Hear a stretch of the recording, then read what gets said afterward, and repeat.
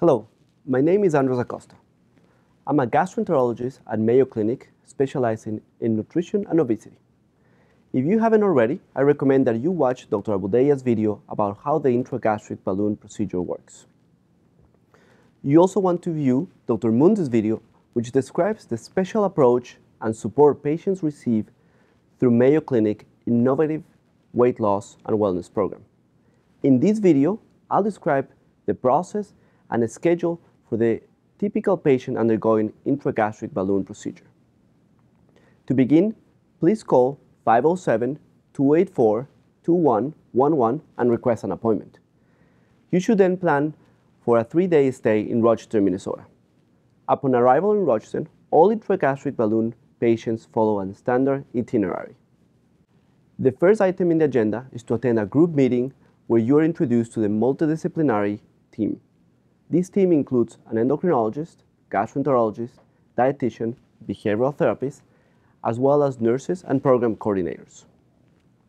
Then, our dietitian describes the post-procedure dietary guidelines and allow members of the group to ask questions. After the group meeting, you receive an individual consultation with both physicians and behavioral therapists. On day two, you report to the endoscopic unit and undergo placement of the intragastric balloon. You are discharged after about two hours. On the third day, you return to the clinic for follow-up and post-procedure care.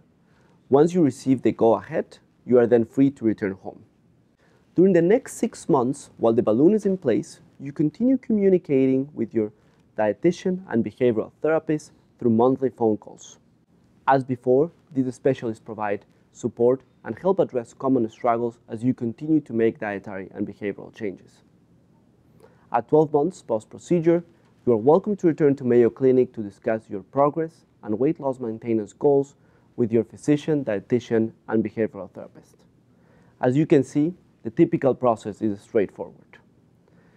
Should you have questions, however, don't hesitate to contact me or another member of our team using the information provided at the end of the video. Thank you for the interest in the intragastric balloon. Have a great day and stay healthy.